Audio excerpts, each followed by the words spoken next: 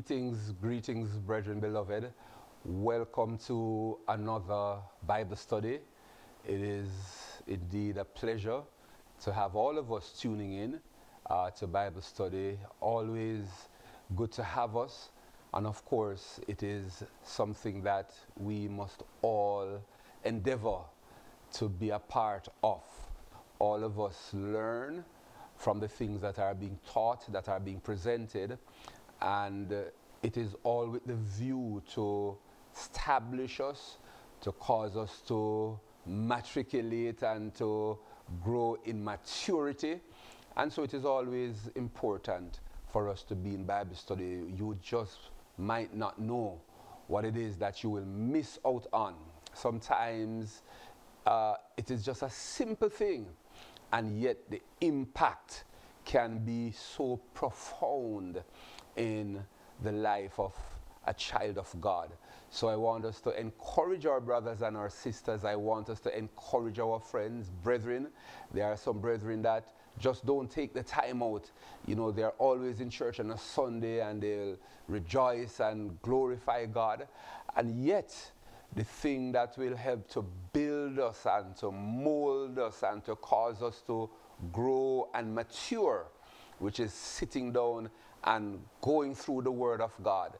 Uh, many, unfortunately, are absent from that, and that certainly will impede our growth and development as children of God. So I encourage us and I encourage us to get to other brethren that we know so that together we are learning and forging ahead and getting to the place where God wants us to be so that he can use us in the way that He wants to use us. Now, we continue to look at some simple things in scriptures that has deep and profound lessons that we can pull from, that we can extract from. It is important that we recognize that God can use the big thing or the small thing.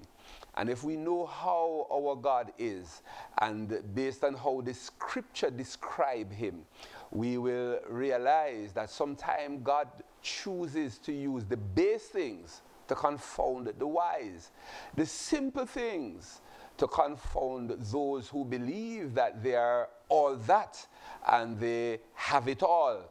And there is just a way that God works with men. So he would use a David to slay a massive Goliath.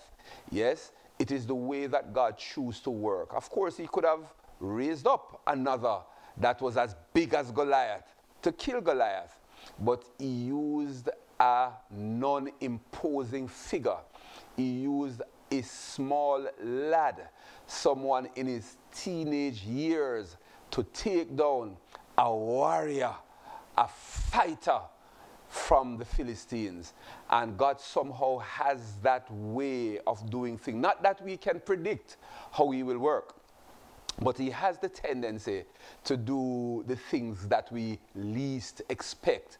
And so we have been for the last couple of weeks, of course, we had a break in between, but we have been going through examining or examining, sorry, how God uses simple things to bring out lessons that we might think we wouldn't be able to learn from the simple creatures or the simple things around us that we see from day to day and we would normally take for granted.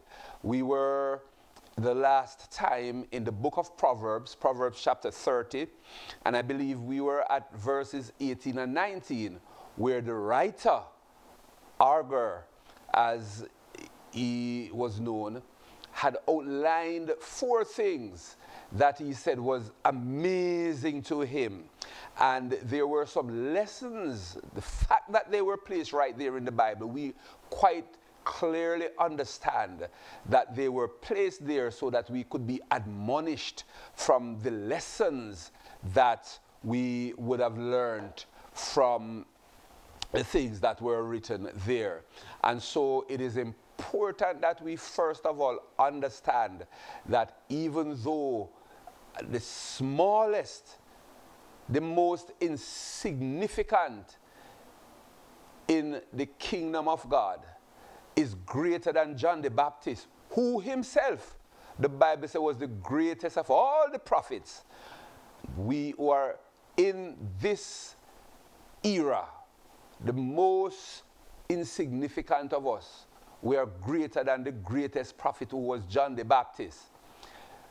Even though that is the case, I want us to understand that we can learn from the weakest of creature. We can learn from the smallest of creature. And so the scripture that we had examined the last time in Proverbs 30 verses 18 and 19, it spoke about the way of an eagle in the air.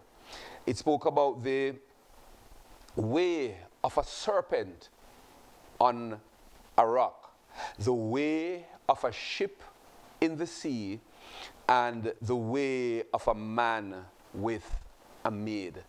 And these four things seems so insignificant, and yet they were replete with nuggets that we can extract and apply to our lives to enhance the quality of our Christian walk. And I want to uh, make it clear to all of us as Christians the Bible is one book, many different books put together to make one complete whole.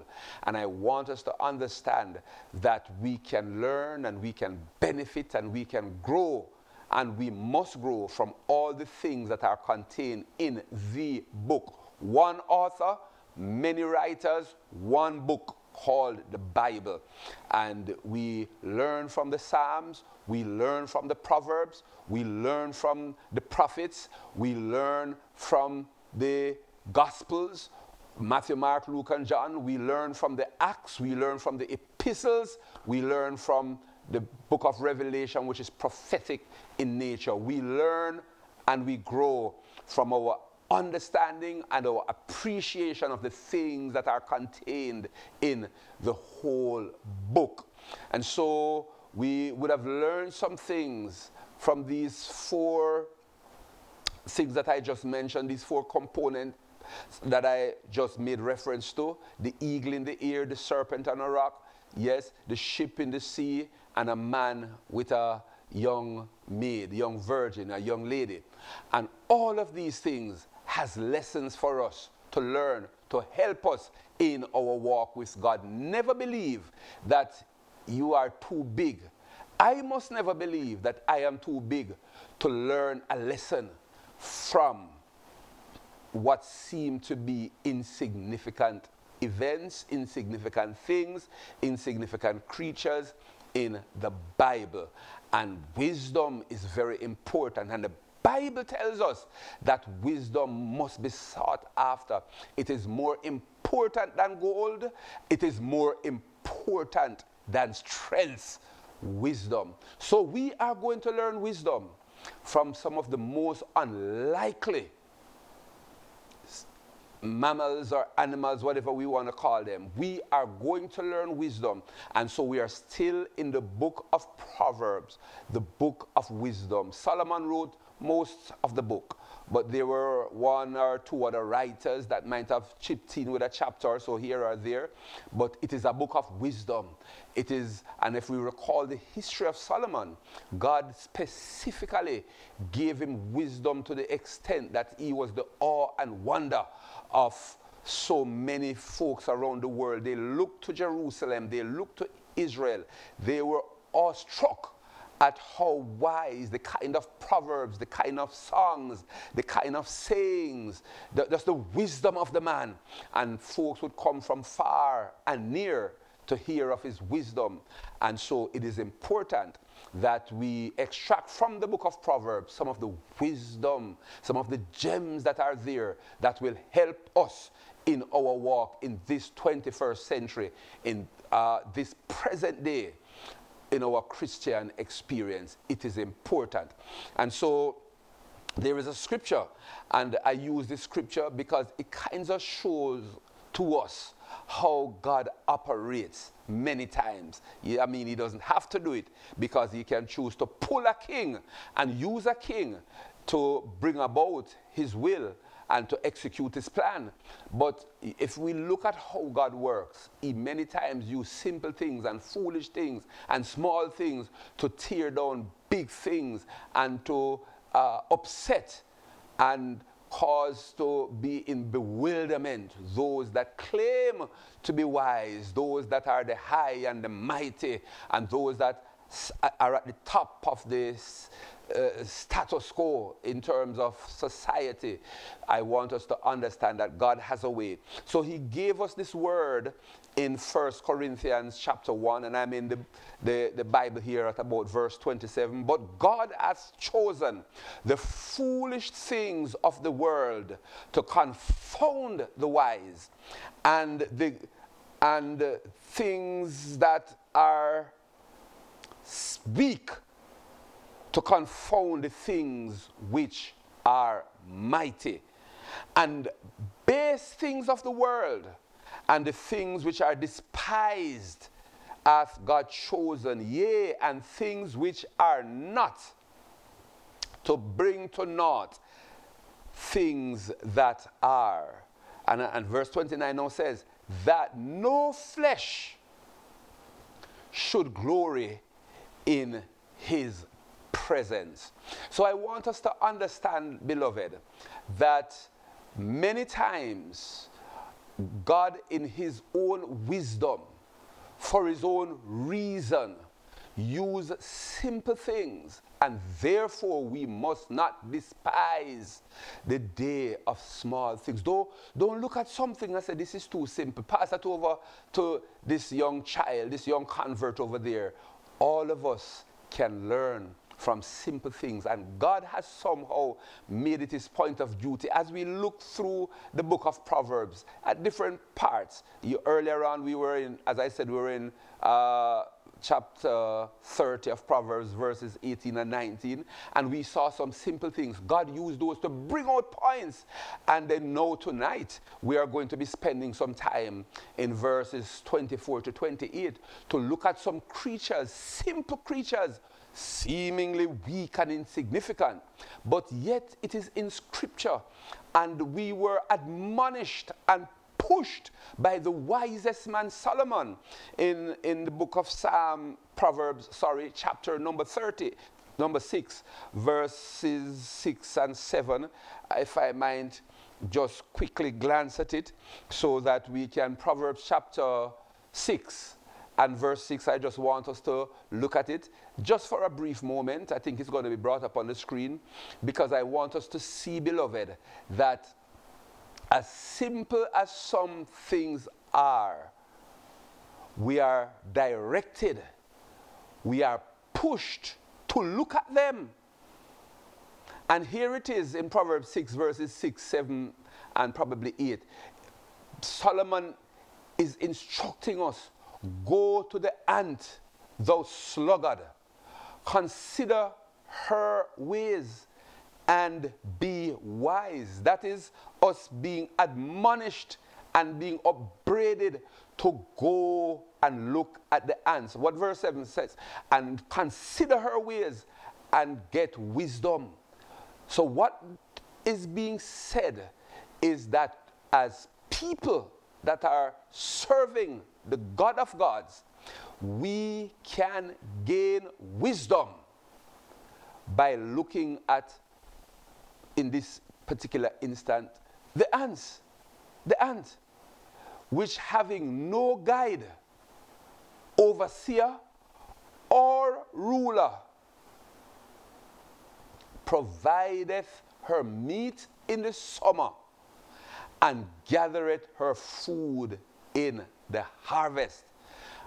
Solomon pushes, instructs, admonishes, advises individuals look to the ant and get wisdom. So, an ins insignificant thing as the ant can provide us, beloved, with wisdom that all of us will need so that we can advance our walk, advance our Christianity, advance our searching and seeking and walking and living for God. And we can do it with wisdom. And wisdom is what is going to lead us ultimately to that place where all of us intend to be. So, having said that, we are going to now go over to examine for Bible study tonight a simple subject matter, a simple subject area. Big lessons from little things. That's the subject matter that we are going to delve in to tonight. And it is important that we take the time out, all of us, and follow through and delve in with us. We, we, we, we will take our time. And at the same time, we will be moving at a certain speed. Um, but it is important that we see what is being said and that we extract the things and apply the things so that we can and we will advance with wisdom. And that is so very important. So many, because the opposite of being wise is being foolish. And I want us to understand that we don't want to have any foolish Christians in the 21st century, in this time and era that we are living in, especially in the days that we are in. We want all of us to understand that we can advance and we can move with wisdom. I want all of us to understand that we can make it and we will only make it through these turbulent times if we are as harmless as a dove and we are as wise as serpents. How could God use such a thing in the Bible? The serpent, which was so deceptive, and yet we learned from the same Bible study that we have been doing that even from the serpent we were admonished to learn something from him. Jesus said, Be harmless as a dove, but yet be wise as a serpent. And there was a lesson there. So we're not going over that because we went through that already. The point is, we can learn from things that we might think has no capacity or ability to teach us. But we better be careful, we better be humble, we need to be open, and we need to follow the instruction of Solomon. Proverbs 6 and verse 6. Go to the ant and learn wisdom. So, how are we going to learn wisdom from the ant or whatever else? We will look at what they do, we will see how they do it, we will present the lessons there, extract them, and we will apply them. And I absolutely guarantee you, I absolutely guarantee us that when that is done, we will find ourselves moving at a pace, moving to a point where when we look back, we say, oh my God, how did I reach here? Here. It is important that we understand. Get the lessons, learn the lessons, apply the lessons, and live and watch and see how we become wise and how we become champions and giants in the house of our Lord. So let's turn to the slides at this time, and we are going to, as I said before, go into the subject area of big lessons from little things. And it's important, I want us to catch that. Now, the, the, there is an old saying.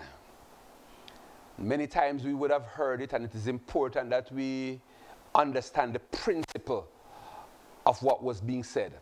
There's this saying from way back, and even my mother, my grandmother mentioned it many, many times years ago. They said, Never judge a book by its cover. Never judge a book by its cover. And what they were saying is that don't judge something before you get the chance to examine it in its entirety. In other, sometimes the way how it is presented, the cover, what meets your eyes at the first, um, would cause you to put it aside. And so the cover is not appealing what catches your eyes at first is not appealing. And the, the, natural, normal tendency is to put that aside so that you can look again to find something that is more catchy, that is more appealing.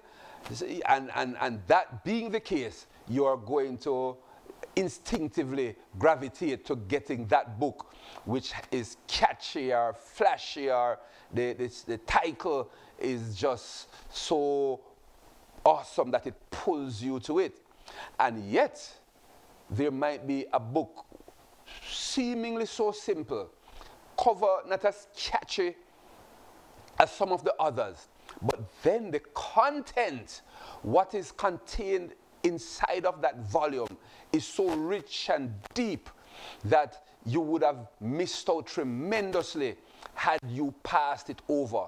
And so the old saying, don't judge a book by its cover, practic physically. It goes beyond that you know. Don't judge a man by how he walks. Don't judge a lady by how this that and that. You can apply it to anything. But the bottom line is don't think that something cannot be of use or value to you simply because of your initial perception of the particular person or thing. And it is important that we understand that concept as we move into what we are drilling into. And that being the case, it takes us back again to the scripture that I quoted earlier on in 1 Corinthians chapter 1 and verse 27. God can use simple things, and he has to confound the things that are mighty and the people that are wise or in their own minds or in the minds of the society. They are the wisdom of this world. And God can confound them with simple things. And it is important that we understand that. So, having said that, having said that, I want us now to move into the lessons. And you might think that a ants are a coney or the locusts or a spider. What can I learn from those little pesky insects or animals? What can I learn? Don't judge a book by its cover. Yes? And God can use insignificant things, small things, to teach us lessons, the impact of which are huge, big, impacting and it is important that we appreciate that. Now, Proverbs chapter 30, verses 24 to 28. Let's, let's bring it up on the screen and read it, and then we come back and we go through the slide. At least let us start with the scriptures so that you see where I am. And we see exactly what the scriptures are saying, and we come right back and we go through and delve into the study. There be four things which are little upon the earth, but they are exceeding wise. The ants are a people not strong, yet they prepare their meat in the summer. The conies are but a feeble folk, yet make they their houses in the rocks. The locusts have no king, yet go they forth, all of them by bands. The spider taketh hold with her hands and is in kings' palaces. Beloved, those are powerful scriptures. This script that we have just looked at teach us about four weak things. None of us can look at any one of these creatures and consider them to be mighty. None of them are like lions or elephants. Lions are the kings, are the king of the beasts. And God did not name them amongst these to teach us a lesson. Yet in other parts of the Proverbs, and we will look at that later on. So we are taking our time to go through, you know, to look at how God uses things, and in many instances, small things, but then He can use the big things too. But we are on the small things. And none of us would ever leave with the concept that an ant or a coney or locusts or spiders, any of these are great creatures.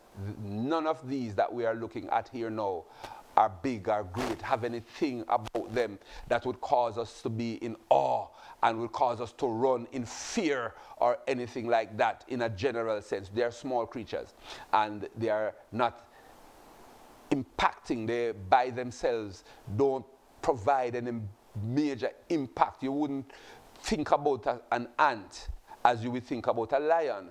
You wouldn't think about a coney in the same way as you would think about an elephant. You wouldn't think about a locust or locusts or spiders in the same way that you'll think about a, a, a, giraffe or a rhinoceros that will cause you to hide in fear or to say this is a great creature and you stand in oh no no no you see an ant or uh, some ants walking along you throw or spray them with baygon or you stamp them or you sit them on the desk and you use your finger and kill them Yes, that's what we see a locust outside. We take a, a shoe and we slap it, slap it to death and kill it. We look in the roof and we see spiders. What we do with these things is take mops and wipe them down. So these creatures are so insignificant, so small that we would easily have glossed over them, passed over them, and moved on to do what it is that we were doing, not realizing that as little as they are, as small as they are, these little creatures have lessons in them that the wisest man Solomon gave instructions to go to the ants and to learn from them and to in so doing as we learn develop wisdom.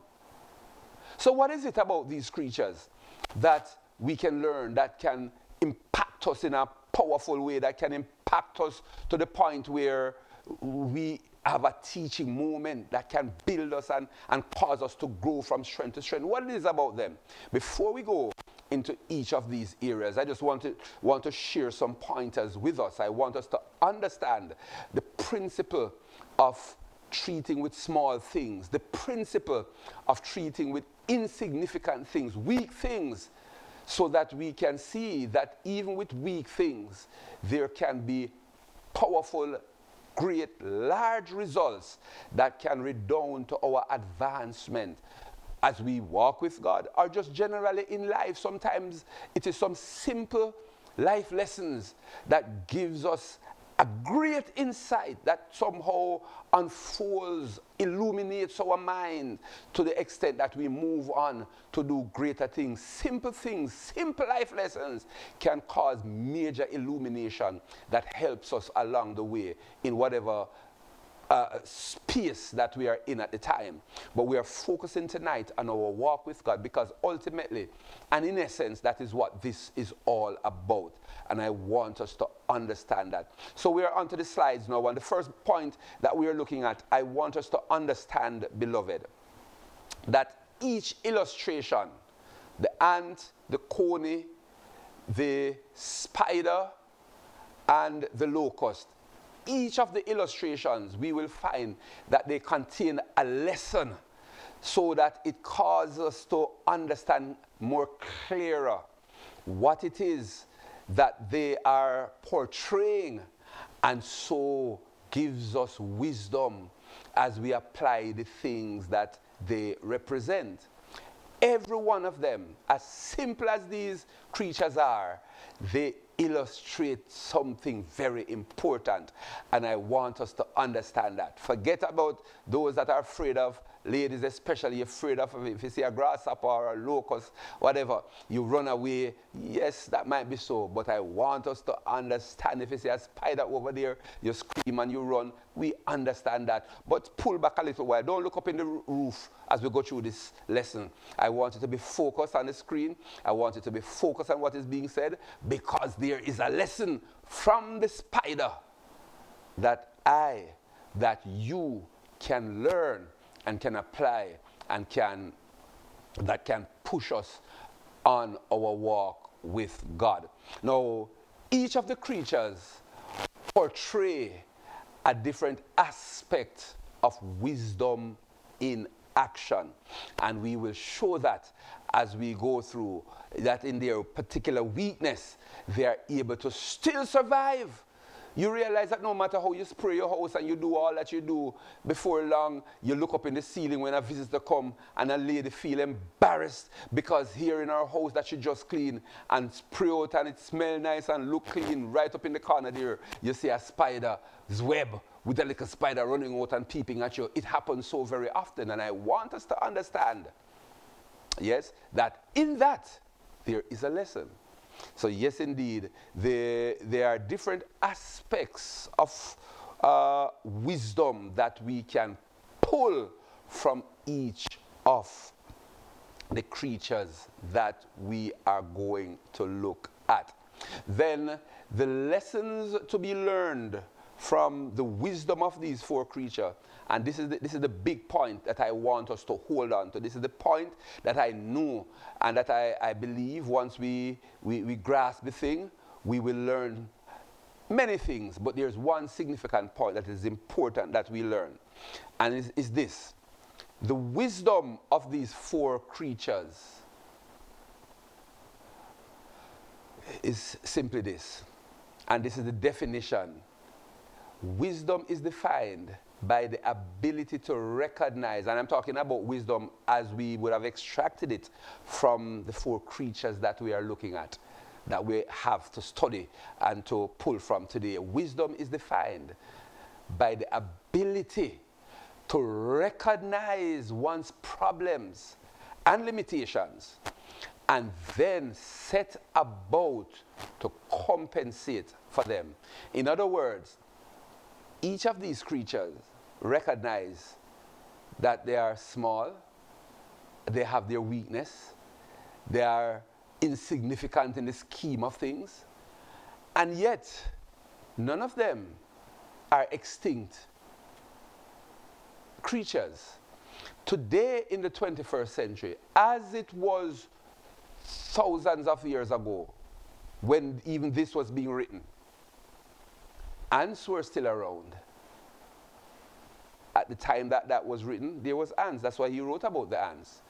The locusts were there. That's why he could write about them. He knew about them. Hmm? The spiders were there. He wrote about them. And the conies were there. All there almost 2,000 years, over 2,000 years now. Over 2,000 years now. They were all there. 2,000 years later, they're still here. What is that saying to us? In spite of their weaknesses, in spite of their seeming insignificance in relation to all the other big creatures that were around, guess what? They are still here. They had developed the capacity.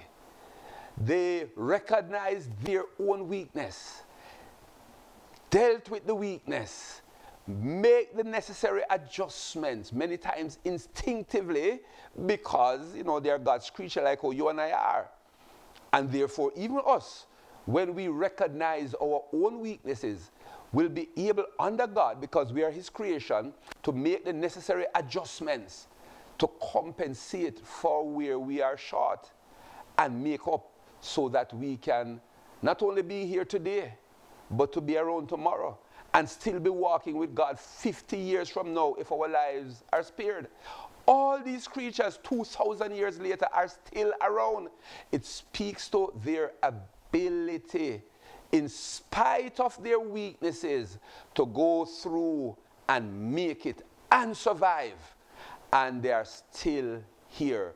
So, wisdom from this lesson, what we learn, the wisdom of these four creatures, is that the ability to recognize their problems and limitations and then set about to make the necessary adjustment to compensate for their weakness so that they can continue to survive is a lesson for all of us to learn. Do you know that dinosaurs have died out? Do we understand today that there are some species in the animal kingdom that have since passed on? They died out of the system. They were unable to make it through to the 21st century. They became extinct. And yet, as big as they were, look at their counterparts the ant, the little locust, the spider up there, and the coney who is so weak in his feet. And they are still around, even though the dinosaurs and some of the other big creatures have all gone. Understand, even in our weakness, we can make adjustments and work around our weakness and maintain our walk and our longevity and our living with Almighty God. And we will see it as we go through um, these, um, the lesson here this evening. Now, and we just, that point that is there, and the bullet, we just, we just cover that. And these creatures will all illustrate the great way in which the disadvantages of weakness may be overcome by a particular quality. Brethren, I want us to understand that there are none of us that can boast that we have no weakness. I personally believe that all of us have a weakness somewhere. Some of us more than one weakness. Weakness does not mean failure because as a human being, as an individual, as a man or a woman, we are going to always, until Jesus comes, we are going to always be confronted with some things. We are going to always have fightings, and we are going to always have things that we are struggling with. Yes, I want us to understand that. But I also want us to understand that weakness does not mean defeat. Weakness does not mean extinction. Weakness being a part of us. And if we are wise like the ant and the others and recognize those weaknesses, we can make the necessary adjustments. And I believe that is what God is teaching us. They're small, they're insignificant, they're weak, but they are still around. They are still standing. Why? They did some things that caused them to be able to weather the storm and to live through the wilderness and the jungle that they're a part of. And while others are no longer around, these four are still there. There's wisdom that we can learn from the ant. And I want us to learn these things. And so, all that we are saying, all that we are saying, in all that we have presented so far, is that whatever it is, wherever we are, however insignificant we think we are, I want us to understand, I want us to appreciate, I want us to know that we can overcome. We can make it. We can be the best. 50 years from now, we can still be standing in the house of the Lord if the Lord tarries and if he spares our lives. And if the rapture comes, we will be assured that we are going to make it in the rapture. It, we, it is important that we understand how we live and how we govern our lives, the lessons we learn and how we apply it is important to our longevity as children of God. And it is absolutely an imperative that we take into consideration the simple things, the simple lessons that these creatures have to offer. And so we take our time and we move, yes, and, and, and as we said earlier on, the weak things God used to confound the mighty. Don't lose sight of that. The small things can teach us big lessons. And having said that, and having looked at Corinthians, 1 Corinthians um, chapter 1 and verse 27, which we read earlier, so we don't have to read it again. The essence of it is the weak things of the world God uses to confound the things that are mighty. Understand that whatever big obstacle might be in your way as a child of God, God has an answer.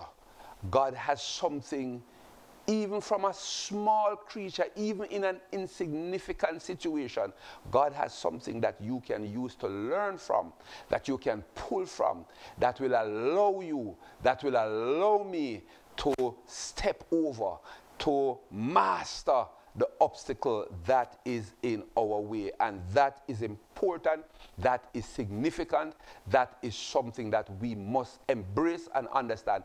I don't care who you are, it don't matter where you are on the totem pole right now. It is important that you know that you can learn from small things and get the big lessons that they are teaching and move up, move higher and higher and higher. And when the roll is called up yonder, you will be assured, you can be assured that you will be there. If the roll is not called for the next hundred years and God gives you good health and you live a hundred years from now, you can be assured that if you appreciate and apply, put in action these principles, a hundred years from now, if the Lord tarries, you will still be standing as a child of God because of the powerful lessons that you would have learned from simple, simple lessons, you know, but profound, powerful, deep, impacting, and you will make it in your walk with God. So, like I said, God uses simple things, He uses simple people, He also uses illustrations from nature. And that is what we are going to pull from today the illustrations from nature to teach us some principles that will cause us to walk good and to make it as children of Almighty God. So, the first lesson that we are going to look at, lesson number one, speaks to the ants. Yes?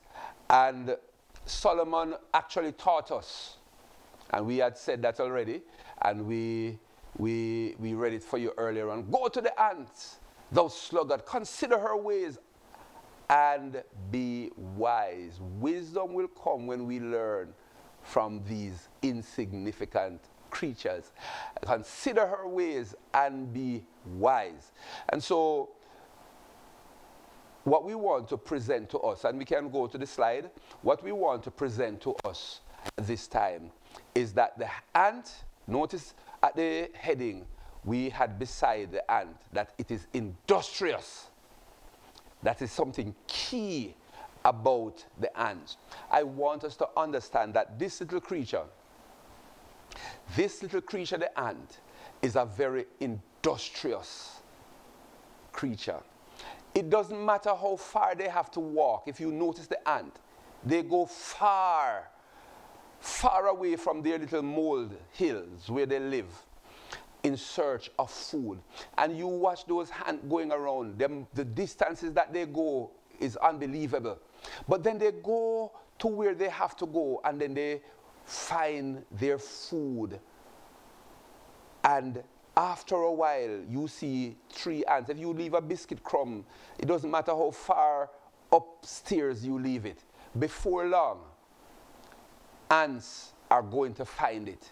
And they might be coming from way over somewhere yonder, but they are going to find it. They have that ability to smell or discern or whatever it is, but they are going to find it. Now, if you drop a cracker, a whole a cracker, half a cracker, whatever, drop some biscuit, drop a piece like a piece of bun in the corner, those ants, they are going to find it. Now, what you're going to find happening with the ants is that they are going to come, they're so hardworking. It doesn't matter the size of the thing that is there. They're going to take their time and they're going to work out how do we pull this thing apart. And so, before you know it, even if there's a, a, a, a roach that is dead in there, so we could either use a biscuit, a piece of bun, or a roach. Let us use the roach. That one is harder to swallow. They cover, they surround that roach. And before you know it, they find that sometimes they can't move it. So you know what those ants do? They, they, they pull it apart. So you see a set of them going off with one leg. And then before you know it, they are able to pull off the other leg. So they can't carry one big roach. So they just tear off the leg bit by bit. And then you look again and you see another set going away with a wing. And sometimes you might just see one ant.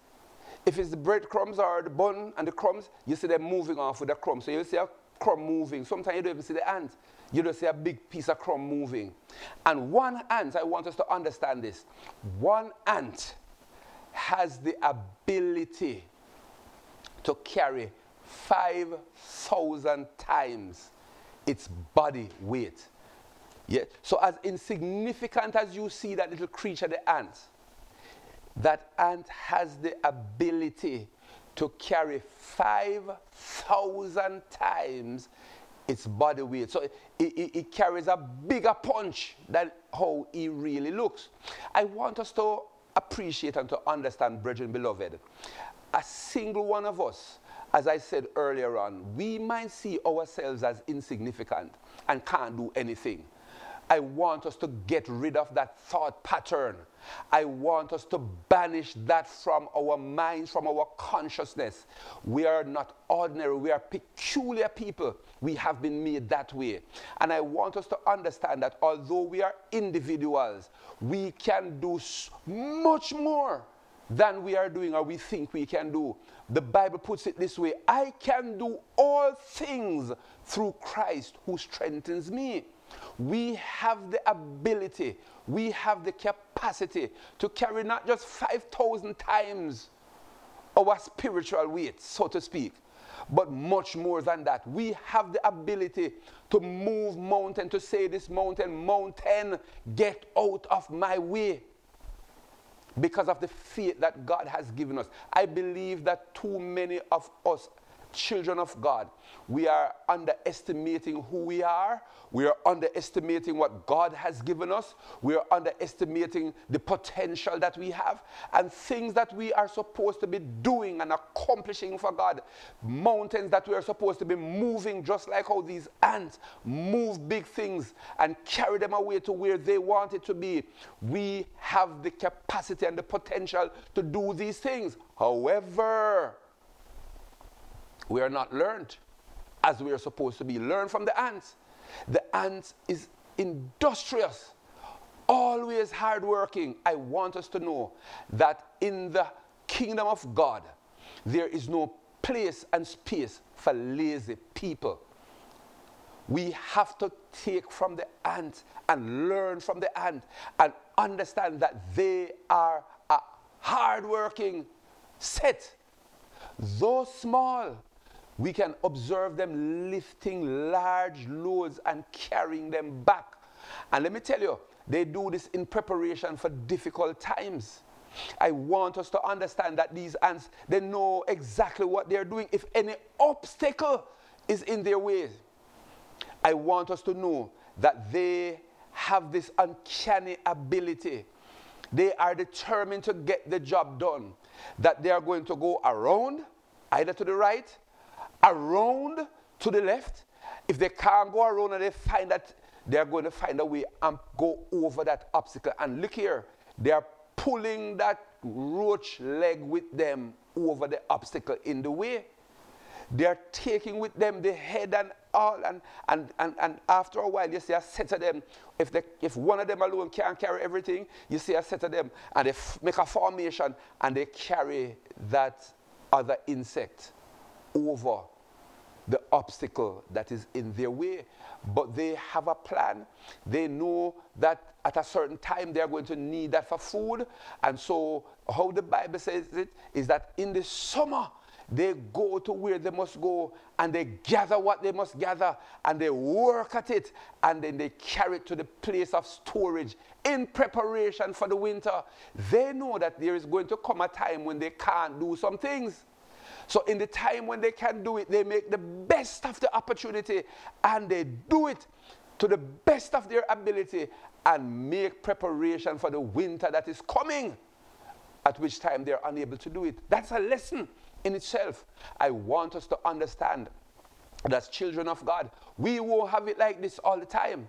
As we age, I want us to understand our winter days are coming. As we age, we're not going to be as sharp as we used to be.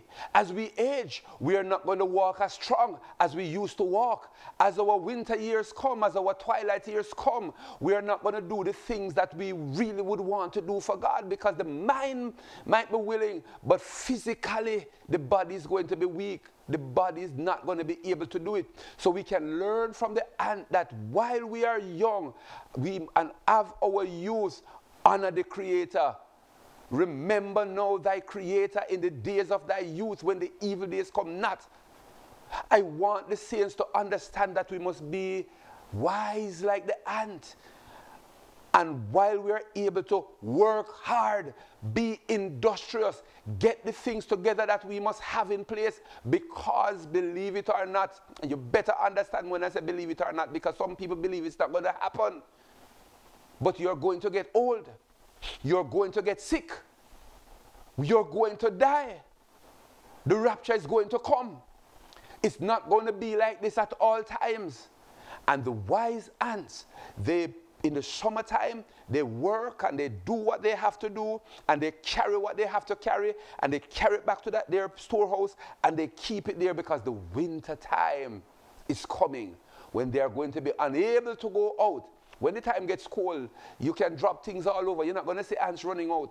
You, you, you're going to say, oh my God, they're all gone, but they, they can't function at that time. But they're not going to die of starvation. They're not going to die of lack because they prepared, they made preparation. They made hay while the sun was shining. And that is an important concept and principle that we must pull from the ants. They're industrious. They work hard. They put things together in the time when they have the strength and the energy and the might. They work in the summertime according to Solomon's writing in Proverbs 6 and verse 6. And they, in the summer, they put it together and store it away for the winter time when they are unable to work and they will have food and sustenance and they will therefore survive to another day, to another decade, to another century. We're still seeing ants today after Solomon wrote that thing because of their wisdom, their industry, their hardworking uh, ability to work hard. And notice, they are not distracted. If, as I said before, if obstacles come in their way, they're going to find a way and get around it. So they are hardworking, and you can't distract them. And if anything comes in the way that will distract them, they are going to find a way around it and they maintain their focus. This is the ants. This is what we must be aware of. This is what we must always understand. They are a people that prepare. So they do the work in the summer, store, collect their food, march with it, and they head right down to the camp and they put it there and they prepare for the winter. This tells us something further. I want us to understand that there's something about the ants that we must never lose sight of.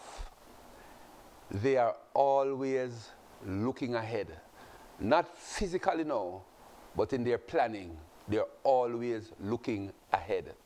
Notice that what you see they're doing, when you see them in their numbers, usually in the heat, the summertime, they're busy working and they're always carrying things. They're looking ahead. They know instinctively that winter is coming. They know instinctively that they have to do this no. No is the acceptable time. No is the time that we must witness. No is the time that we must tell people about God. No is the time that we must worship Him with all of our heart and our soul and our might. No is the time that we must get into the different ministries and work while it is there. No is the time because we are supposed to be able to have a vision. We are supposed to be able to look ahead and know that in doing this now, we are going to reap the harvest later. We must have foresight. We must be able to look ahead and know what is going to happen if we do this thing now. That is how the ants work. And so they do all of this now. because they can see ahead and know that winter is coming and they can't operate in the cold.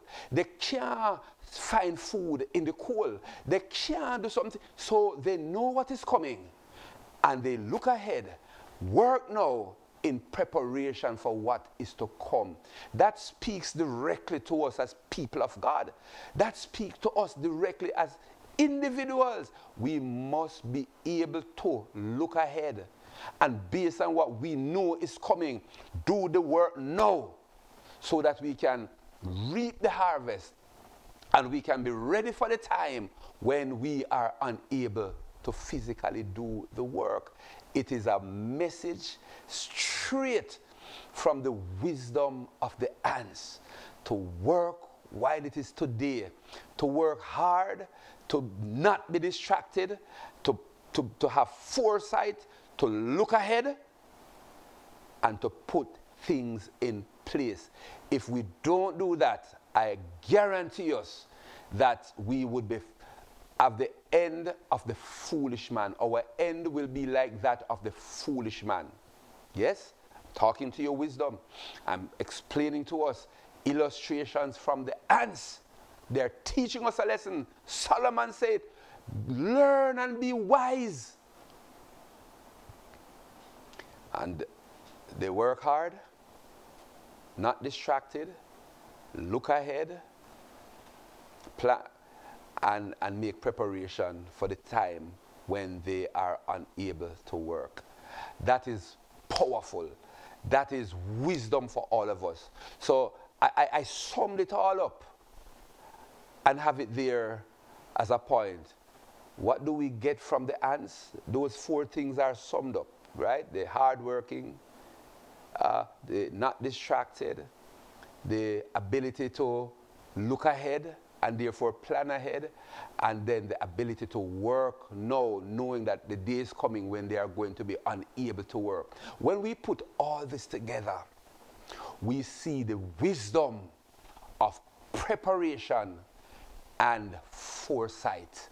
And I want us to know that that is a powerful lesson from the ants for every single child of God planning ahead to meet contingencies. It don't matter who you are, I don't care who you are. This is for all of us.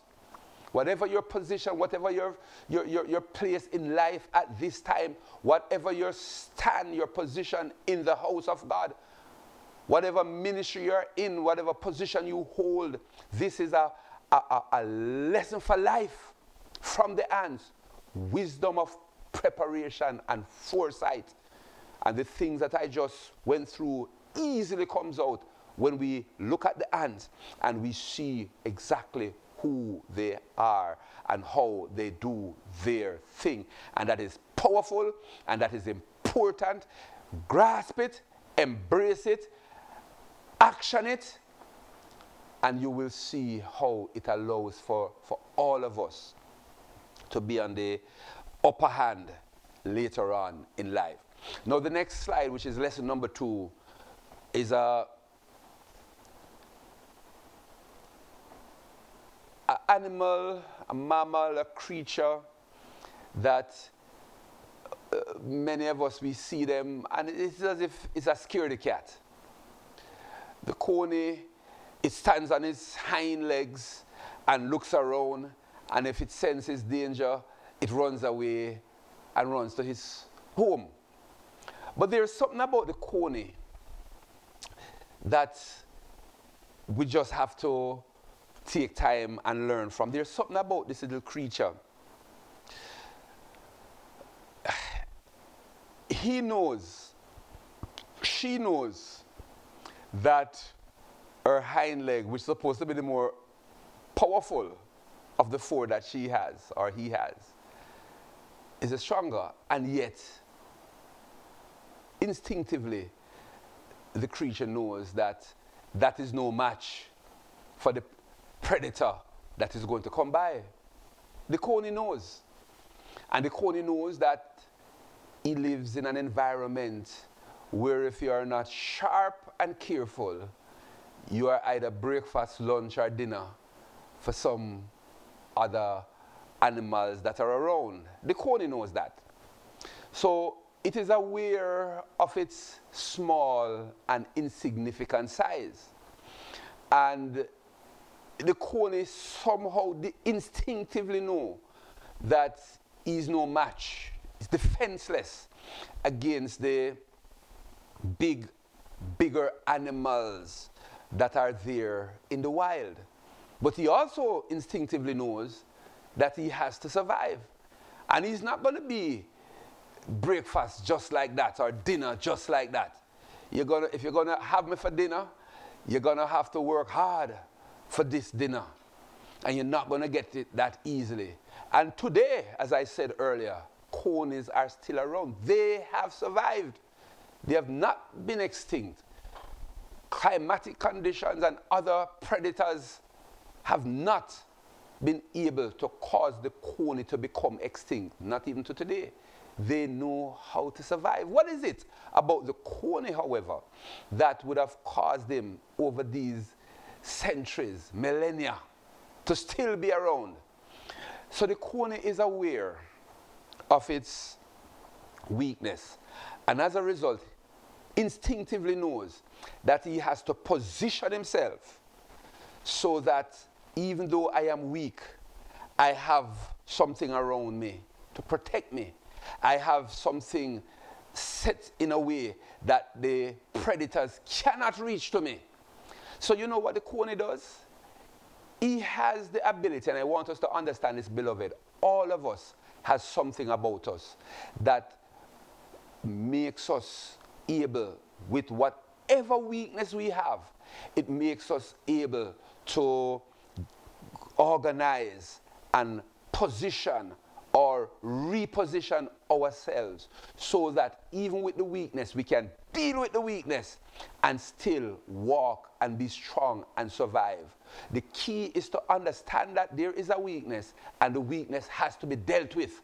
And so we must know now that if we're going to deal with the weakness, do what is necessary so that the weakness does not hamstring us and cause us to become prey.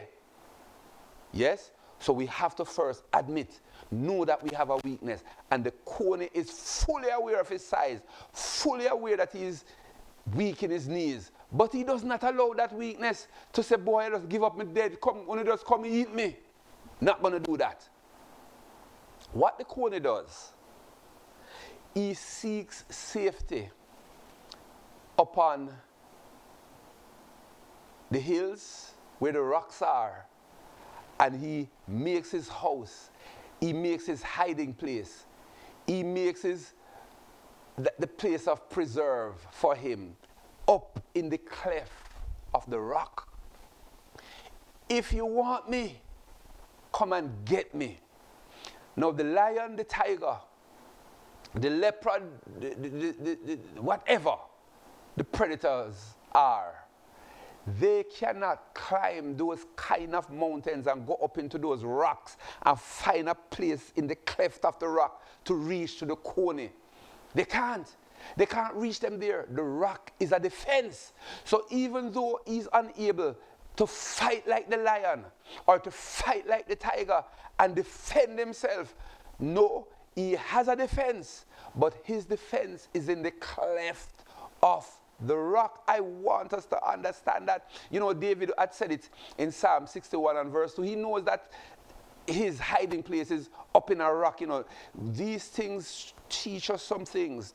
And David himself and others know that if you want to find a place of safety, to find protection, to hide from the enemy, to hide from certain death, they know that they have to go up into a place where they can look down and where they can be covered and where the enemy can't easily reach and where, where they can hide. They know. And so David said, From the ends of the earth will I cry unto thee when my heart is overwhelmed, when I am now at a place of vulnerability, when I am weak. Lead me to the rock that is higher than I. David taught us to run to the rocks for safety. It is the same thing. The, the, the, the, the don't understand English or Spanish or French or any language, but he instinctively knows that he must go to the rock and hide in the cleft of the rock for his defense. And that is a very significant, significant feature of the Coney. He knows that he needs protection. He knows that he is defenseless and his only defense is in the cleft of the rock. Can I tell us, beloved, that we as people of God, children of God, individual saints, sometimes with the kind of things that we are confronted with and the kind of weaknesses that we have. And nobody knows our weakness except us and God. And if we are going to have the mastery, we better acknowledge those weaknesses and then run to the rock of our salvation and hide in the cleft of the rock. And can I tell you, this rock for you and I is not the rock that the coney run up on the hillside and just run into those cliffs and hide in the rock. But we have a rock even stronger than that. And that rock is Jesus Christ. The more we recognize and identify our weaknesses, the more we must run to the rock and hide ourselves in Jesus, hide in Him for protection. Because you see that weakness that we have, the adversary, Satan, is going to come at us and use our weakness to pull us to the ground. That's his intention. That is his plan. That is what he's out to do because he knows. He, he, he, goes, we know, God knows what our true weaknesses are, but I, I want to tell you, the adversary knows. And he watches us and he sees us when we are at our most vulnerable. He sees us when we are in the quiet place where nobody else is, where nobody else is seeing. His minions are around and they know what you do in secret and they're going to use it against you. So, with our weakness, we must identify them, confess them, present them to the Lord, and run and hide in the rock that is higher than I. Incidentally, the, the Coney, his name comes from a Hebrew word. I didn't put it there, but it, it, the, meaning of his name, that Coney, his name really means hider. He hides. But he's not doing that because he's a coward. He's doing that because he's wise. He is aware of his weakness. He is aware of his disability or his inability. But he knows that he has to survive. And if he is going to survive, he knows that he cannot confront the lion, he cannot confront the rhinoceros or any of the predators that are around in the wild because he's aware of his shortcomings. He's aware of his weaknesses. He's aware of how vulnerable he is. And so, instinctively, with the wisdom that he has, he knows that these creatures, these predators cannot reach in these cliffs. And he makes his home there, and that becomes his defense. And so we see the lesson that we learn here the necessity of protection, the necessity of security. And the, the, the knows that and he ensures that he's always near. Once he goes and he gets his food, he's not too far away from the rock. He's always in close proximity. He's always in a running distance from his home in the cleft of the rock. I submit to the saint of God. Don't stand at any distance. Don't go far from the rock of your salvation. Stay near. Hide. One writer puts it this way hiding in the oh blessed rock of ages. I'm hiding in the. I want us to be wise like the coney and learn to hide in the rock. And this rock is Jesus Christ. And it's very important that we learn that lesson and understand that concept from the coney. Hide. There are some times when we have to draw back. So sometimes when we have to just run into the rock, into the cleft of the rock. Just run into and just stay there. I hear one songwriter put it this way I am afraid of the storm. Hold me. Hold me. Somewhere down there in some other verse, it talks about hide me. I'm afraid of the storm. We need to understand and we need to make sure, saints of God, whoever you are, make sure that you understand the need and the necessity for protection, for security. And it is only found in the rock of all ages. When you're there, like the coney, what the predators can't touch when he's in the cleft of the rock, you cannot be touched if you're hiding in the cleft of the rock which rock is Jesus Christ, you will be untouchable. Yes, you will be unmovable, always abounding in the work, love of the Lord. So understand this concept and learn this lesson from the coney. Yes, so the ant is industrious and hardworking and not easily distracted. And then the coney is aware of his inability. And so he makes sure that his defense is not in his legs and in his hands, the, the, the two front legs, which are weak. And he knows. But he ensures that his protection, his defense, his security is in the cleft of the rock. Like you and I must pull from that to ensure that our security, our protection, our defense is in the Lord Jesus Christ, who is the rock of our salvation. I want us to see the, the, the, parallel, the principle, and understand the concept. These are things that Solomon said are wise. They are wisdom in action. They might look simple, but they are profound, they are deep, and we only want to put these things into action. How do we hide in Jesus?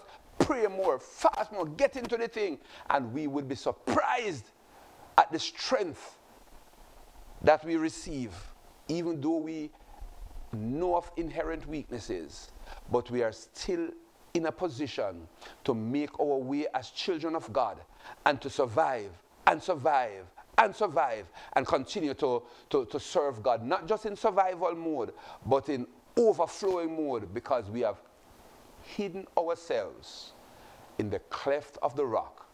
And we understand that this rock is Jesus Christ. What a God. What a lesson from an insignificant creature as a coney. My God. So we move on to lesson number three. And so one, lesson one, the ant, lesson two, the coney, lesson three, the locust. Very important. The locust.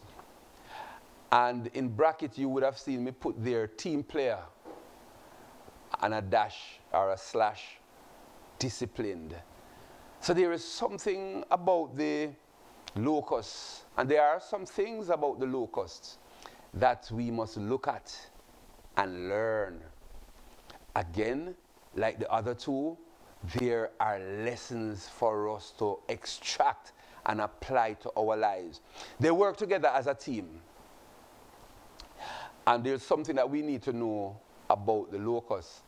The scientists and researchers have done their thing and they have found out that they, they have no leader.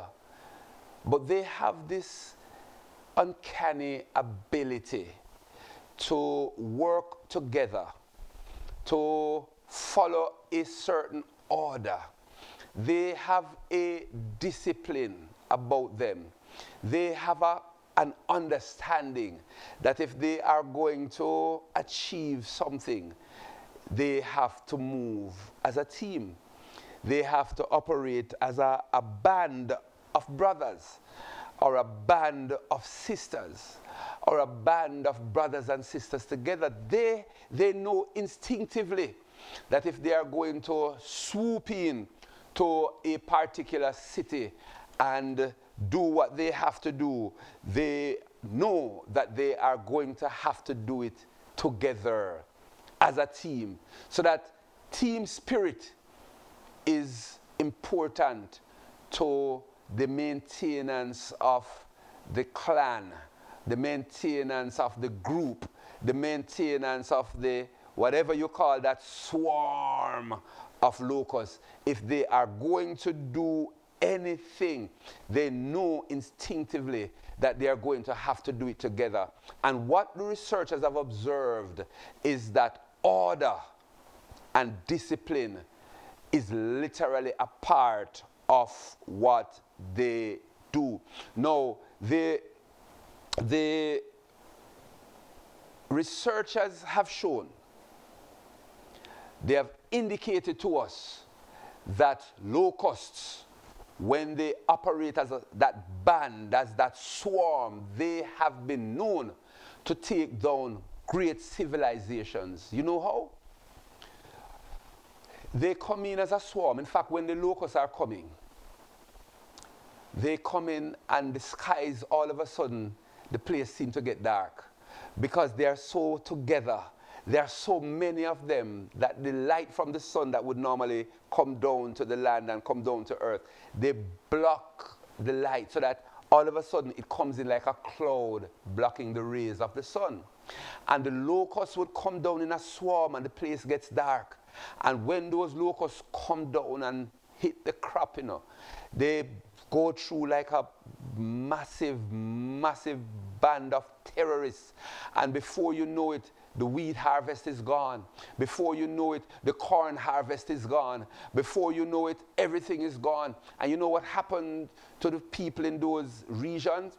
They die of starvation. So that the researchers have said these swarms are known to bring down great civilizations because they eat down the crops right down to the ground and they swarm in and then after a while you see the swarm just hop off back and they go back out.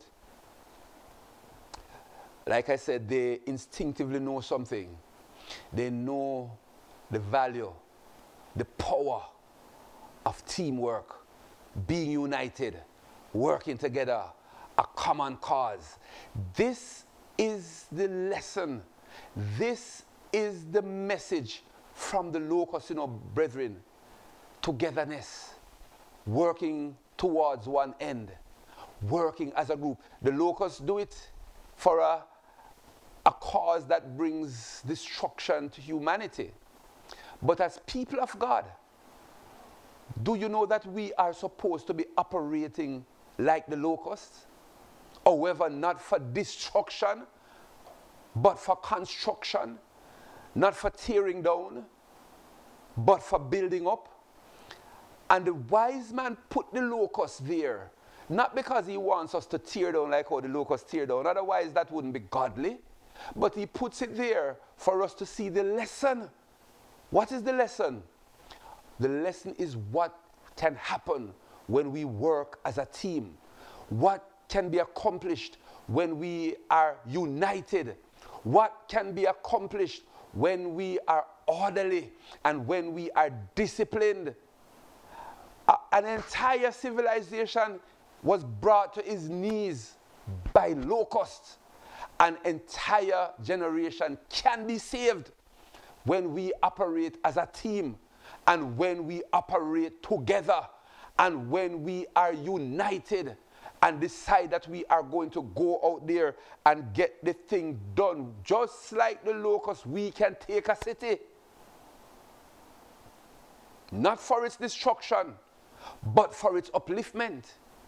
We, you know, I was in, I was in um, street service on Sunday night. And I, while street service was going on, you know, I was observing some things.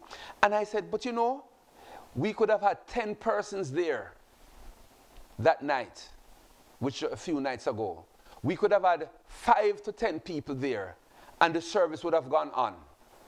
But I submit that the impact could have been different. Not because of the lack in terms of power of the Holy Ghost, no. But God uses men. God uses our hands. God uses our feet. And the point is, since he uses our hands and our feet, it means that the more hands and the more feet, it is what you call teamwork.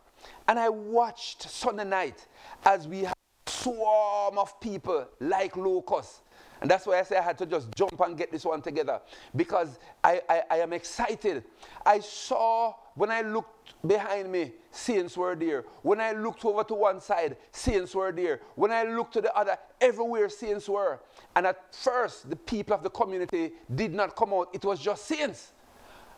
But when we go there as a swarm of locusts, things will happen. Teamwork makes the dream work. I want us to understand that that principle was demonstrated because all of a sudden at the end of the program, or at the, almost the end of the service, we start to look again and we see people coming out, ladies with their babies, men on the bicycle at the side, men over the corner. And whereas earlier on they were inside, the locust was just there, just buzzing and doing what they were doing until the harvest came out. And before you know it, two people got the Holy Ghost. 20 names were taken who we are going to try to get home Bible study to. And the people said, Come again. So the, the, this swarm, this teamwork, is not for the destruction of the community, but it is for the upliftment of the community. But the message, the lesson from the locust is to work together as one, as a team, and make the thing happen. I am happy that Solomon told us to look to the ant. I am happy that Agur, writing in Proverbs 30, said, Look at these four insignificant creatures and extract the lessons from them. Powerful lessons. And it is important. Look, the next slide tells us that no one locust is more important than the other. We're all in this thing together, and we are equal at the foot of the cross. No big locust, no, no, no small locust. No big Christian, no small Christian.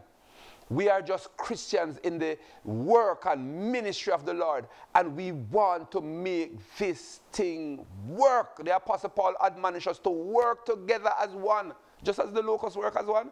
You know, work together as one. And he, he uses scripture in um, 1 Corinthians 1, verse 10. And listen to how Paul described it. Now I beseech you, brethren, by the name of our Lord Jesus Christ, that you all speak the same thing and that there be no divisions among you, but that ye be perfectly joined together in the same mind and in the same judgment. Paul was saying, Look here, get rid of the division. Look here, speak the same thing. If we're talking about Jesus, everybody said Jesus. If we're talking about souls, everybody says souls. Let nothing come in and divide, divide you. I, I can't say it often enough.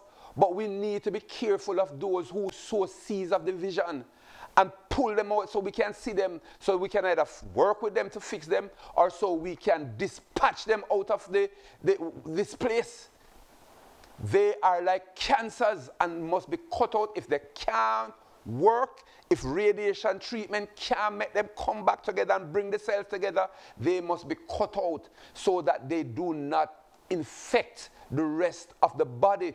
But we must be very careful that we speak the same thing and that there be no divisions so that we can be perfectly joined together in the same mind once we don't speak the same thing. So if we're talking about souls, somebody over here talking about, you talk about soul, the bench tough, and time now for them take some money and buy soft bench and, and bench with pads for us. And we're not speaking the same thing. After a while, we get distracted and we start to talk about things and we look for things to criticize. Let me tell you something. If you are looking for things to criticize, you are going to find it. There will always be a dirty curtain. There will always be a dirty bench. There will always be a paper somewhere floating around for you to criticize and say the place is not clean or the cleaner is not doing their job. But there's always going to be things if you're looking for it. But let us speak the same language. Yeah, we have to try our best and we have to do what we have to do. Oh, and we have to find a way so that we see what the common goals and objectives are. Souls and into the community and work together as one and we're going to make it happen. The Bible says in the book of Acts they had all things common. They were in one accord, in one place. Once we have that unity, of mind and spirit, once we have that togetherness where there is no division, once we understand that uh, we have to work together as a team and the team is going to make it happen. It's not I, it's not Brother Daley, it's not Brother Bailey, it's not Brother Martin, it's not Brother Smith, it's not any one individual. If it's going to happen, we have to come together. This is the lesson from the locust. And it is important that we understand that concept, that critical attribute. The locust does nothing by himself. So even if we're doing some things individually and get some, that's fine. After a while, now we're going to put it together. And when we are going to attack it, when we are going to go into the community, I am very concerned when we say, let us go and canvass, nobody turn up. That's not the attribute of locust that we are supposed to learn from. The attribute of the locust is that we come together as a team and we make it happen. How can we call for canvassing for souls and 10 people turn up? How can we call for canvassing for souls and 20 people turn up? And we have hundreds of people in the church. Something is wrong. I want us to listen. We're not just taking the time to talk, we're teaching some things. And this must be applicable right across the board. If it's mission, if it's ministry work, let it be ministry work. What ministry are you in? If it's choir practice time, we are going to have to be there so that we can work together as a team. That when it is time to deliver, it is a teamwork. If it is hospital ministry, we are going to be together so that when it is time to go to the hospital, three people out of 20 don't go. When it is time for altar workers and four, five, six people are at the altar reaching out to God. Two altar workers come out of a group of 25. Something that we've got to learn the lesson from the locust, extract the attribute. The locust knows they never do anything by themselves. If they're going to go and take a city, swarm, we're going to swarm it. And then they make it happen.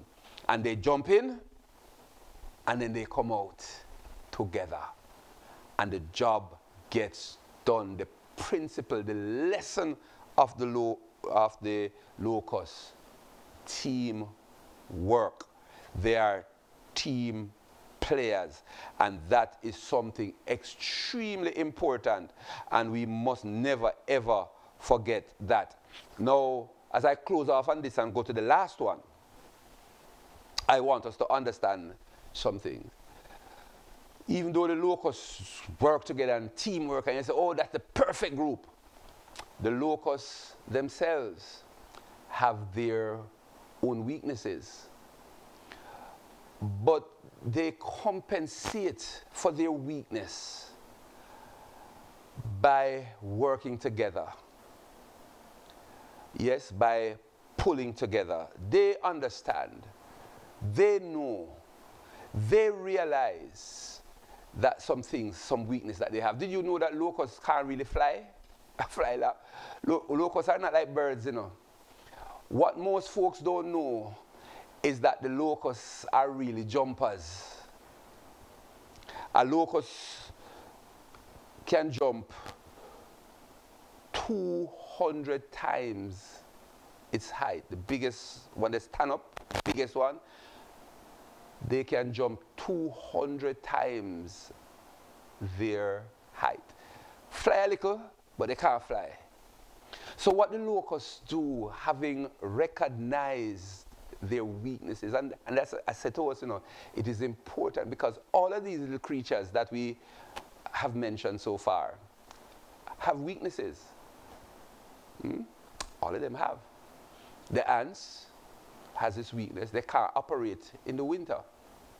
The coney have its weakness. Its, its feet, its hind leg, which is supposed to be their leg of strength, is so weak that they couldn't run from the slowest predator. Weak. They know the weakness. The locusts, they know they can't fly or fly for long. But they can only hop, probably 200 times their height. But they're aware of that weakness, and you know what they do to compensate? Normally, when a certain wind, a strong east wind, or a wind coming out of the north or wherever, they know when the wind is coming and when it's going to be strong, and they start to jump and position themselves.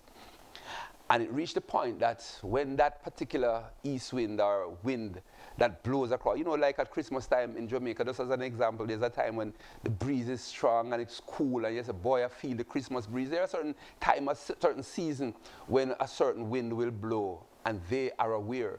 They are aware of their weakness, and they are aware, are aware when the winds will blow at certain times in certain place. And you know what they do? They jump and flap until they get caught up in the wind. And it is that wind that carry them from place to place. And so you're going to see this big swarm thing coming and they're being carried in the wind until they reach that particular location. And then they move into that place and devour that city. They use the wind. They're aware of their weakness, but they utilize what is available to them. I want us to know I want us to be aware that, beloved, the, the wind of the Holy Ghost is still moving the wind of the Spirit of God. I feel the rain, somebody say. And, and, the, and the wind that blew at Pentecost, praise God, is still blowing today. And I want us to understand that even with our human limitations, because we are men, and by ourselves, it's not by might, nor by power, but by my spirit, says the Lord. I want us to understand that the wind, that Holy Ghost wind, still blows today, and we must put ourselves in that space where the Holy Ghost will move us and carry us and take us to the places that we must be to devour the land like the locust. Devour is a negative term because it speaks to tearing down. But I want to use a term different from devour for the saints of God. But we are going not to tear down, but we are going to build up. So when the Holy Ghost moves us, be available to move with the wind of the Holy Ghost. And when we decide to go, I want us to learn from the locust and let us go as the Holy Ghost moves and the Spirit of God moves. Let's move with the Spirit, but let us move as a team. And if we have hundreds of people, it's not good to see 10 and 20 and 30 persons coming out for, for a group with hundreds of people. I want us to learn. I don't want the few to learn. I want make find a way to get the Bible study to people for them to understand that this is for everybody. So whether it is street service, whether it is hospital ministry, whether it is house to house, when a group must go, when a ministry is in action, move with the Spirit, understand that this is ministry work, and so it is spirit work, and we move with that, and then allow for teamwork to prevail so that we can accomplish great things and we can have the effect and impact of the locust together. Do what they must do. Get in and then get out. For us, together, do what we must do. Get in, get the souls, and bring them out into the barn, the house of the living God. And from here now we nurture them and disciple them and teach them and ready them for the coming of the Lord Jesus Christ. And so on, on this last slide on the locust, the, the, the, the, the basic lesson, unity and power, teamwork and power by organization. They organize themselves and they come in bands, bands well organized, well oiled machine, and they get the job done. Don't stand alone. We can't do it by ourselves. We need others to make things happen and for self preservation. A very important concept. Learn it, live it, action it, and watch how both as individuals and as a body, the church of Jesus Christ, we achieve and accomplish great things. And then now, finally, lesson four, the lesson that the spider teaches us. And I made the point that there is no stopping the spider. They are persistent.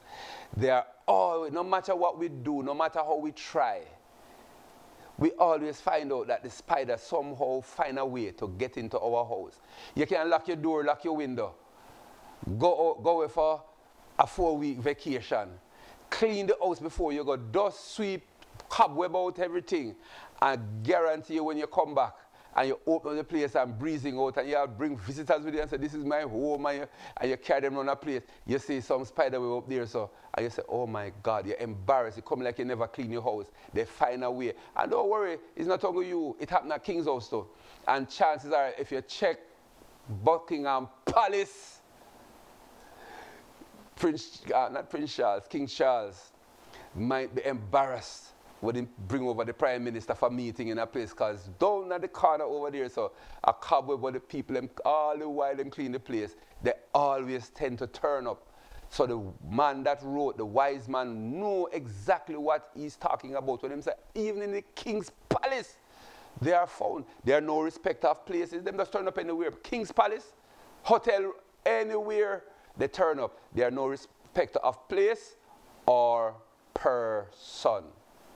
And that is something that we need to understand about the spider and that we can adopt.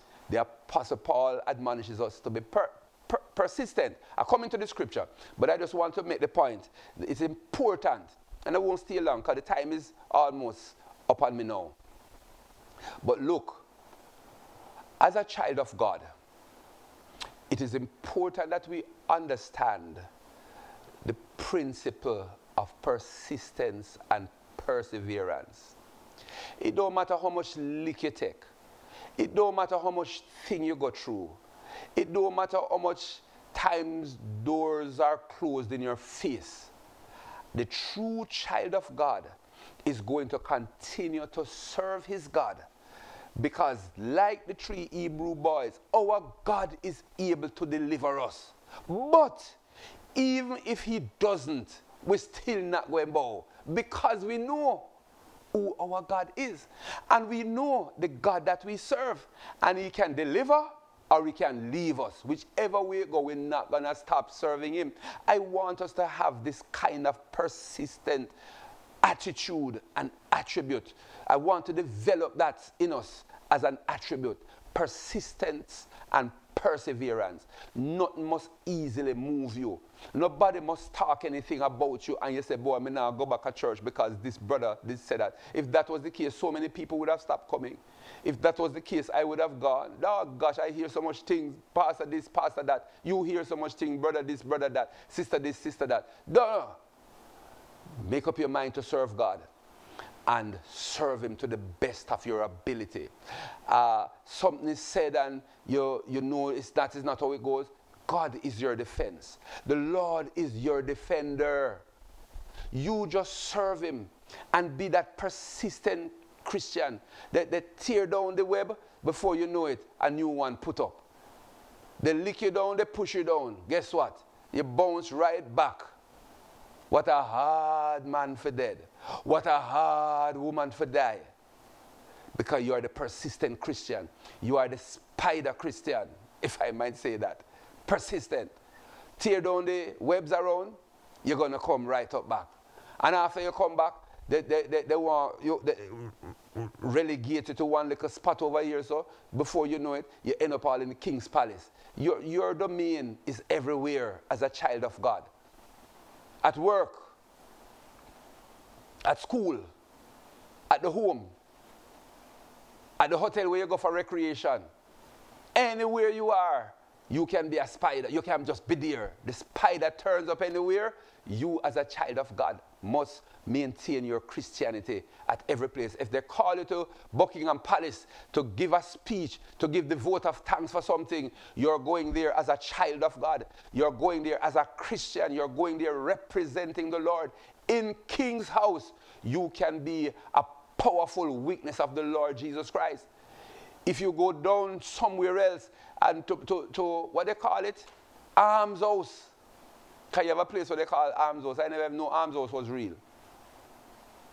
But this is one of those places where the folks who cannot take care of themselves and depend on the state to take care of them. Poor house, alms house. Spider is there too. And if you're called upon as a child of God to give a word of encouragement, a word of advice, a word of exhortation at Alms House, you should be there. So whether King's House, Alms House, any house in between, you're a child of God, be a child of God and be ready to be there. And don't watch any face, don't watch any person, don't watch any place, don't watch any space. Be like the spider, pull your web anywhere and declare who you are and declare whose you are and present the word of God. The Apostle Paul admonishes us to be persistent, to persevere. Look at the scripture that he uses, powerful scripture in 1 Corinthians chapter 15 and verse 58. Therefore, my beloved brethren, be ye steadfast, unmovable, immovable, always abounding in the work of the Lord for as much as you know that your labor is not in vain in the Lord. And that's a powerful scripture. In fact, the, the scripture is so powerful that I used um, the amplified version just to bring it a little closer home in terms of our English and our understanding. Therefore, my beloved brothers and sisters, be steadfast, immovable always excelling in the work of the Lord. In other words, always doing your best and doing more than is needed. Being continually aware that your labor, even to the point of exhaustion, in the Lord is not futile nor wasted. In other words, it is never without purpose. Brethren, this is deep. Brethren, this is, this is very deep. And I want us to understand that, that, that, look, that um, spider is quiet. You don't hear no noise. Like how you hear the locusts and you hear this swarm coming and you know something is going to happen because the swarm of locusts coming here. It's not like the Cody who makes his sounds as he does his thing?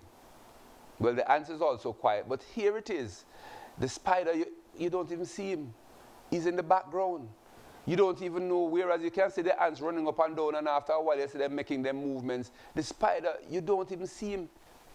You just, one day you pass, the place is quite clean and clear, and the next day, all of a sudden, you wonder, it's like them wait till night to spin the web and then each up in the corner, quietly, in the background, in the shadow. That's the child of God at work. We're not making any fuss. We're not making any fight. Just quiet persistence, doing what we are doing. You don't have to be seen, you don't have to be heard. This is the attribute of the spider. Anywhere he goes, we must go anywhere. Any person it don't matter if it's the king or the papa, he's in their place. That's the spider. That's us with the word of God. That's us with a testimony for the Lord.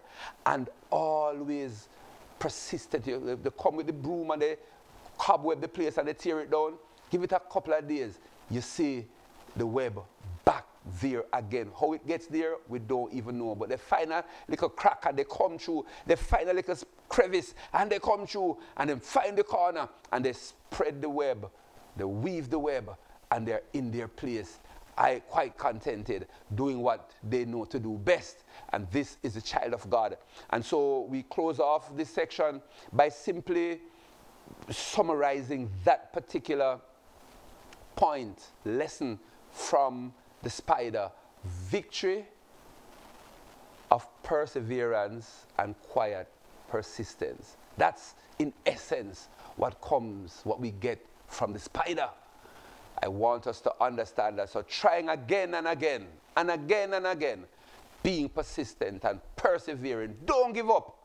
Be steadfast, immovable, always pushing on. Don't make anything stop you. That's the secret. That's the wisdom that we get from the spider. You see how these little creatures teach us big lessons? The thing about it, we might think we know these things, you know, but if you notice, the apostle and the, uh, the apostles in the New Testament speak of these things and we gloss over them. But when we go back to the Old Testament, there were no apostles there, but ants. Ants were there, and they teach us the same lesson. Conies were there, locusts were there, spiders were there, and the writer Agur puts them together and teach us the same lesson that we don't want to listen to when Paul and Peter and John and the others and James teach us them. So they, they, they've come about again and smack right in our faces for us to understand that this is Bible and the whole thing is one book authored by one author and it is Almighty God, Jesus, our great Lord Himself. And those are the lessons that we can, from the book of Proverbs in the Old Testament, use to parallel the books of the epistles in the New Testament to teach us how to live, to please God, and to ensure that we are, we are on the path that will take us to no other place but the home of our souls. So, in conclusion, in an era where brilliant thinking and high technology is the order of the day, in an era where we are, what's the word, but we love to see the academics come forward to present solutions because we are into big thinking. We are into academia and brilliance, and we believe the solutions will come from men. They will not. The Bible directs us as children of God to basic virtues, to basic things. God used the simple things to teach us the real big lessons, the lessons that really are for us. The Bible literally uses small things, and we said it in the scriptures that we had read at the very start in the book of 1 Corinthians, chapter 1, and verse 27. He has chosen the foolish things of the world to confound the wise, and the weak things of the world to confound the things which are mighty, and base things of the world, and things which are despised, hath God chosen, yea, and things which are not, to bring to naught things that are. The Bible gives us some basic virtues. With the hands, to be industrious and hardworking. And it is very important that we appreciate that. With the coney, to know how we build so that we can properly hide ourselves in the rock. And it's very important. With the, with the, with the locusts, he shows us the spirit of teamwork to make things happen. And with the spider, the wisdom of persistence and perseverance so that we can achieve our ultimate goal. Brothers and sisters, as simple and as small as these creatures are, the lessons are large and powerful and profound. I encourage all of us to look at the simple thought, the simple Bible study, simple subject matter, subject area. Little things with big lessons. I want us to pull the big lessons. I want us to apply them, to action them, to live them. And I absolutely guarantee you that you will see the impact in your walk with Almighty God. God bless you. God's willing next week, well, not next week, because next week, this time we will be in the final night of Ignite or Youth Convocation. But God richly bless you. And by the following Wednesday, God's willing, we're looking forward to continue in Bible study. Just to let you know that our magazines are here, our 10th anniversary magazine 10th anniversary as Faith Apostolic Ministries. They are here. The cost is $1,750 and it's for all our churches. We have in those magazines the information for Faith Chapel, Faith Deliverance, Faith Majestic. Yes, information for Faith Chapel Kelowna and um, information from the churches in Africa. So it's a must have and we want all of us to purchase our copy, $1,750. For the saints that are overseas, I want you to know that we have your copies here and we will make arrangements to get them to you. Just send to us. Um, you know how to reach us online, and I believe there is the, the, the, the phone number that you can reach out to us on. If not, you just call the office and you know the office numbers 876 905 0484 876 931 0081. And of course, the, the cell number, the WhatsApp number, reach out to them or just write us online if you're watching us in service. Um, you know, there is a chat group. Just in your chat, just say, look here, such, such, and such. We need it here, here, here. We'll know where you are. We will do the necessary, make the necessary arrangements and work out the logistics and get them to you. For those in the US, I, I would say it is $15 for your copy. If you're in Canada, just about $20. If you're in Europe, I would say about 10, 12 euros and it's, it's your copy. We just want to recover back the cost, and, um, but we really want you to have a copy as a keepsake. And all our brethren locally, please get your copies. They will be out on Sunday. Uh, we will have a desk at the front, probably downstairs, so that after church you can pick up your copy as you go home. But you must have it. Amen. And it's very, very important that every saint purchase a copy. And we will have enough, amen, to send abroad. We can print more, but we will have enough to send abroad to all our brethren that will require a copy. So God bless you. Support it in the name of the Lord. Let us pray as we dismiss. We bless your great name, mighty God, and we thank you for another opportunity to share with all of us in Bible study. I pray that the things that we discuss tonight, the things that we study tonight, mighty God, we will apply them, we will action them so that our lives will be uplifted, so that we will move from one grade to another and advance in the kingdom of Almighty God. Have your own way, great God.